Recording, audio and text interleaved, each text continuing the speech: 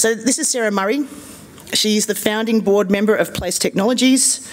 Uh, she's a corporate innovation professional um, with 15 plus years of experience. Her passion is at the intersection of technology and social impact. Sarah brings play to life through exciting and interactive examples of play that will shape our future and benefit our communities and our environment. Welcome, Sarah. Thank you. And uh, thank you for having me this morning. And also, I think um, I don't need to thank anyone because Kathy did an, an, amazing job of thanking everyone, but she didn't actually thank the powerhouse that is herself. So if everyone can give. Because yeah, we wouldn't be wouldn't be here without her. Um, so I'm just going to work out how the clicker works. So, so yeah, so this is this is me, and I'm not great behind a lectern, so I'm going to walk this way and that way. I'm also very softly spoken, so at some point you will and you won't hear me. Oh, is that all right? Yeah, yeah, yeah. Some people are standing talkers and others are walkie talkers, and I'm a walkie talker. hmm. But yeah, so I had um, I've had a really rare privilege Thank you. Oh, that's better. That's better. Um, okie doke. So yeah, so I've had a tr tremendous, um, tremendous privilege. I had, um, and all great privileges born of uh, tremendous challenge as well. So, um, as most people may relate to, I uh, couldn't afford a home, and I got incredibly frustrated by it. And I'm a deeply um, geeky, technical child and just wanted a computer game where I could buy a house and I knew how much it would cost and it would arrive on time and preferably it would arrive on the back of flying robots. They would drop it, they would print it, they would clean up after it and I would be done and I would have no mortgage. So that was what I wanted. Um, and, uh, and it was interesting because it all started because my husband and I bought a, a, block of land sort of out of about an hour out of Sydney um, and then uh, went to call a builder and um, that builder said, um, and I'm, I'm, going to do the accent he did, but I really hope it's not insensitive, and but I'll give it a go. And it was something along the lines of, um, oh, I don't know, love, you might be tire kicking. Um, I don't get out of bed for a million five, and if you're really serious, get your husband to call me. And he hung up. Yeah. And, and so I thought, th th this industry needs a customer service overhaul. Like this, is really bad. So I very, very, and at the same time I was working for Westpac Bank, and um, it they had turned 200, and so they um, bought the TED Institute out, and I had this um, amazing opportunity, serendipitous opportunity, which most opportunities are, right? You don't plan them; they sort of uh, arrive, and then it's your job to take them. And then so we um, created this mock-up, which was basically like The Sims. Has anyone played The Sims? Yeah, yes, fabulous, right? So um, where you all we what, what, we did was we I spent some time over in China. I was very interested in the 3D printing, of course, then realised that that's, that was actually fraught with peril, and so ended up going towards more uh, modern methods of construction, factory-based stuff. And so at the time, then went over to China and had a look at lots of factories and understood how it worked and then broke down all the components of a house into these pieces and then basically created a Sims build mode that you was real and was attached to real parts. And those parts would then go to a factory. And we we were at the time that I gave that TED talk in 2017 um, we were really about to kick off because we had US based customers and it was all very exciting. And then this really lesser known uh, American um, president um, you might have heard of him John Donald Trump put a 25% tariff on everything coming into the US, and our business model tanked, and it was over before it started. But it was interesting in the sense that what it did was it sort of opened up my eyes to this incredible catalytic change that we were that we are a part of right now. And of course, it evolved, and I got to do other interesting things with it, which also happens. But this is my favourite way of representing the incredible convergent catalytic change. And you'll be like, what's this got to do with play? But I'm getting there. So we've got up here on the left, you've got a house. This is how a house was built in the 1950s. This is um, what a computer looked like in the 1950s. That was half a million dollars worth of computer in the 1950s, took up one whole room, would have been very hot, very unpleasant, very loud. Um, and that is social media in the 1950s on the bottom. All right, flash forward to 2000 We still built the house exactly the same way, and in terms of equivalent cost, it was exactly the same price. Meanwhile, that's what a computer looked like. Who owned one of those or something that looked similar to it? Yes, well, weren't they marvellous? Um, and you could probably only word process on it and maybe play a little bit of solitaire in between whatever you were doing, but we loved them anyway. Um, and that was social media. Is anyone old enough to know what that is? Yeah, yeah me too. Um, and then flash forward to 2020 so 20 years later, finally, finally, our built environment is catching up.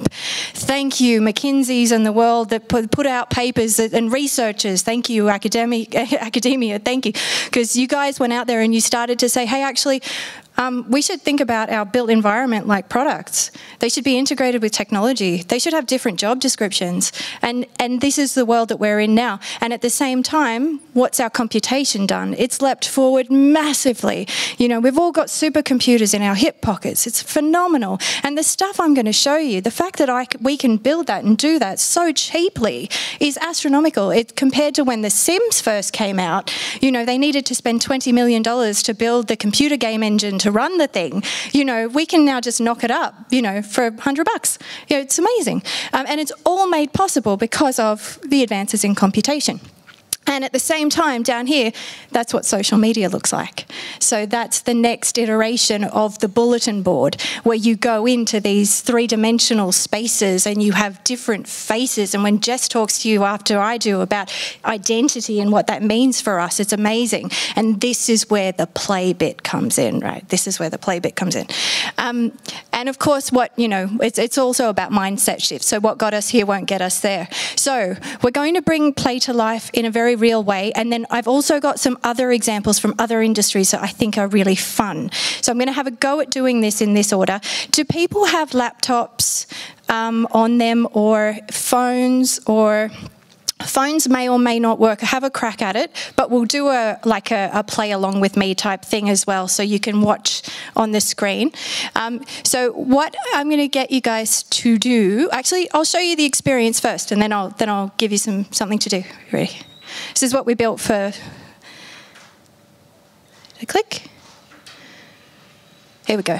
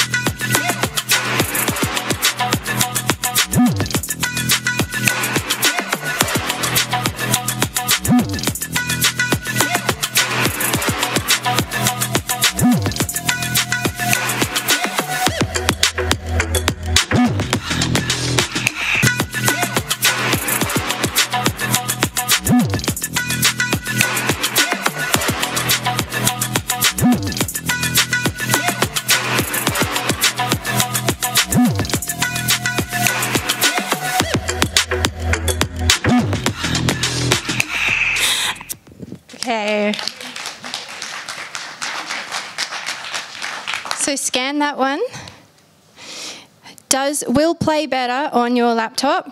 If you've got um, a Mac, uh, it's available after this as well. So if you've got a Mac and you've got a lovely M1 Mac, you're going to need to change your settings to high, otherwise you'll get a bit of a flicker. Um, but if you are on a PC, it's going to work just fine, and um, it's going to work just fine on your phones, or should do. Um, the I want to talk a little bit about um, game psychology before I do the the play along.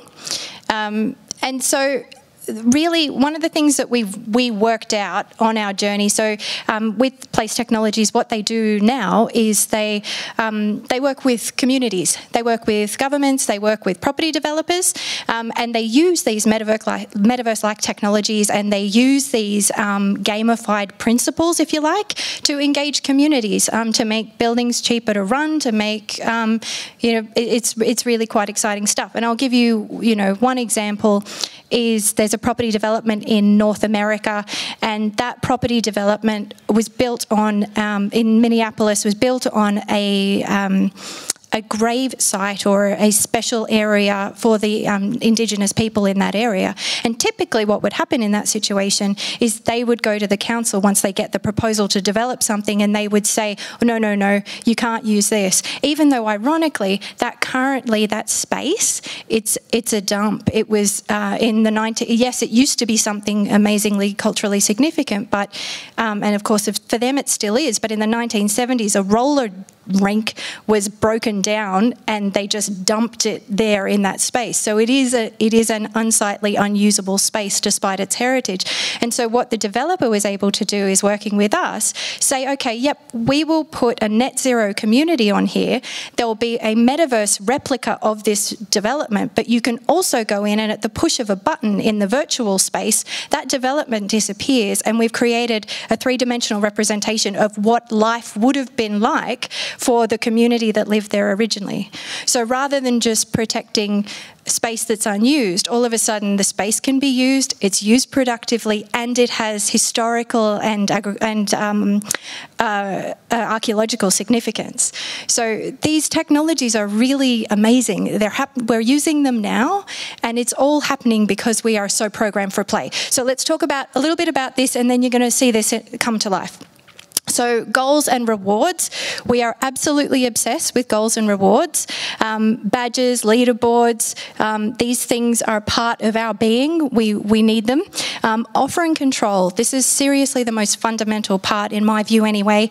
So, when it came to us developing um, Place, what we realised was all of the feelings I was feeling about not being able to buy a home, all of that just boiled down at the core to not having control. I didn't have control over my environment and that didn't feel good. So all of these technologies, what they're allowing people to do is increase their sense of control, choice, give us choice. And I'm going to show you a bunch of examples about that in a sec. Um, mapping the journey is really important. I mean, um, everyone will remember the time when you had to order takeaway and you had no idea when or if it would arrive, right? We, we now live in a world where we know from point A to point B what's going to happen and where we are along that. And that is speaking deeply to our needs. These are playful things. These are journeys journeys, these are goals, these are quests that we're achieving, right? Getting your takeaway on time. Um, and then competition and exclusivity. These two are totally fascinating because depending on who we are as individuals, um, we may respond very differently to it. So some people see competition as a very personal thing, so uh, your personal best when you're running or something of that nature, and other people see um, competition as a very outward thing. So they want to be the top of the leaderboard on their peloton, you know, where they've got their pelotoning in their house and someone else is pelotoning in their house, um, but they were faster than that other person pelotoning. And but that's all tapping into the same psychology. Um, and then exclusivity as well. So being able to get into a part of a virtual environment that no one else gets access to, being able to get something earlier, faster. We, we love that stuff. Um, I'm much more interested in the top three because I'm, I'm not sure the bottom two always play to the nicest side of our nature, but they are important nonetheless. All right. So if we can switch back, please, to my laptop and let's go and explore. Can I just put this down or turn it off?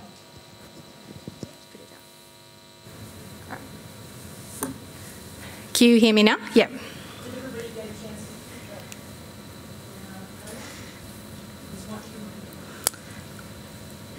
Can you see?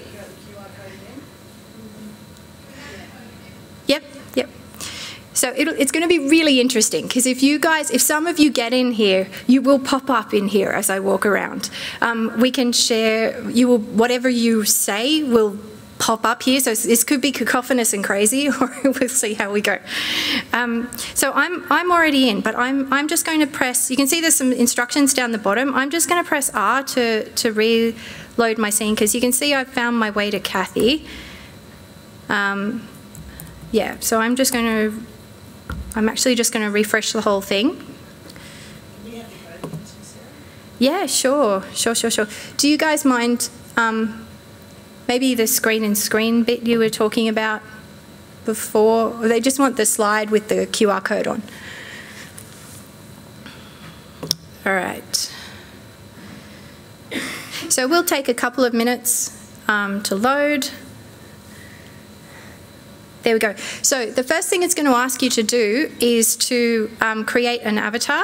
So this, if you think about the, the, the, different elements of play that we were talking about, um, personalization, choice and control, these are all really important things. So you can um, I've already created an avatar, but if I was to create or load a new one, what that's going to do is that's going to kick me out to Ready Player Me. And this is fascinating. Who's heard, heard of or played with Ready Player Me so far? There is a phenomenal space race going on right now for companies that create your three dimension, your, your avatar, your version of you. And the, what they're doing, they're not just creating a version of you, they're creating a version of you that is interoperable with all of the new emerging metaverses out there. So this code that you'll get after you create this version of yourself, you can take it, you can put it into this experience we've created, you can put it into a hundred thousands of other different experiences, and it also tracks all of your engagement across those. So if those other experiences involve you buying a virtual item and it's all tracked together. So there is, it's interesting at the, on the face of it, you might not think there's much in creating a simple avatar, actually talking about fundamental sets of rails for how you interact across these environments. Um, so I'm not going to go through this process, but if I did, um, it would give me this code here. I strongly recommend that you write that down or create an account for yourself with Ready Player Me, but you don't have to.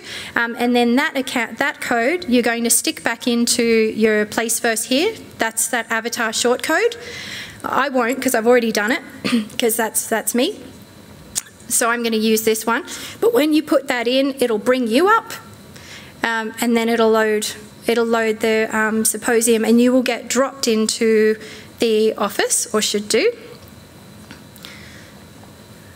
There we go.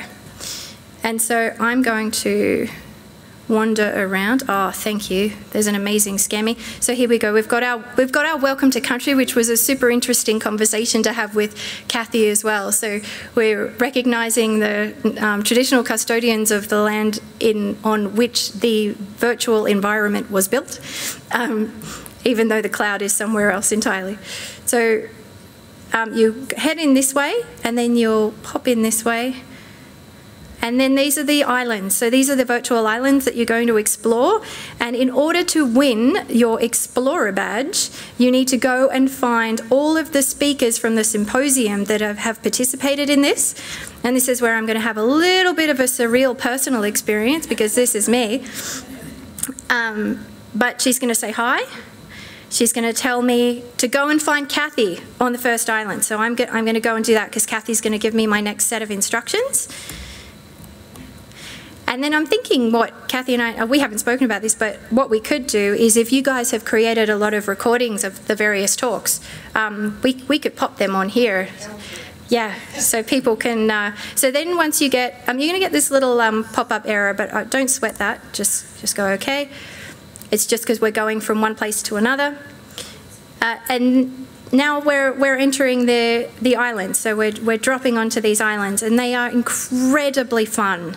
And I, I think this is where um, we're finding, you know, certainly the place team are finding that the environments they create are incredibly sticky because it just speaks to this natural human desire to explore, to check stuff out, to stand on a high mountain and have a look at what it looks like around us. It's all very fundamentally human and, and wonderful. So you can see all these little speaky bubbles. This is, these, are, these are all of the speakers across all of the islands that you've got to go and explore. Um, you can press, um, you're navigating with W, A, S and D on, um, or if you're on your phone, you're, you're using your finger, um, and then you're just using. Has anyone been able to get in? Actually, I'm curious.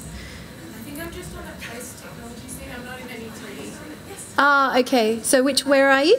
Well, we can spend some time playing with this later, but, um, and then, so if I get up, if I get up close and personal with Kathy, she's going to say something to me. You look fantastic. This is how we designed you. This is interesting. This is how we envisioned you before we knew you. Was Dr. Kathy with these like blue medical gloves? I, it's, it's, absolutely you, yeah.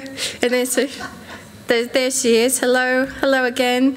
Well, and she's welcoming us. Thank you. And she's got a challenge for us. And so this is part of that competition imperative. You know, I love a good challenge. Give me something to solve. Give me something to learn.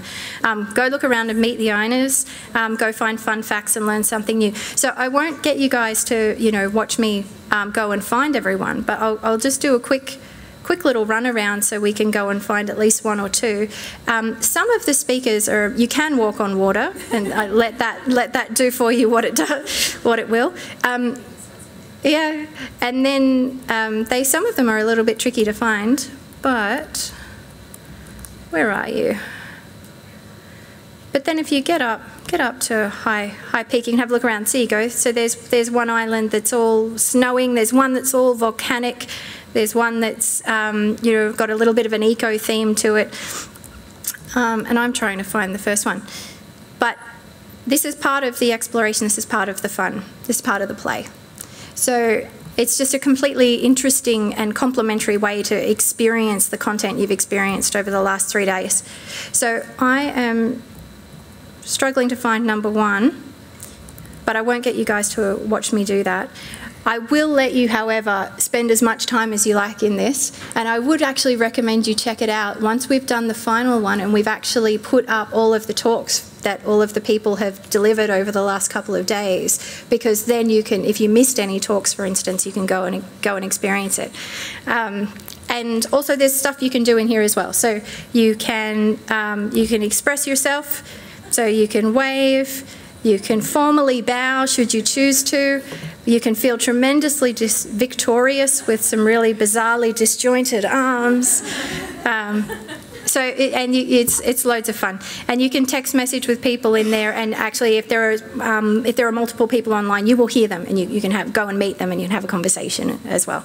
Um, all right, so I'm going to pause there. Um, how how are we for time? Because I the amazing Jess I've got to throw to in a minute. 10 10?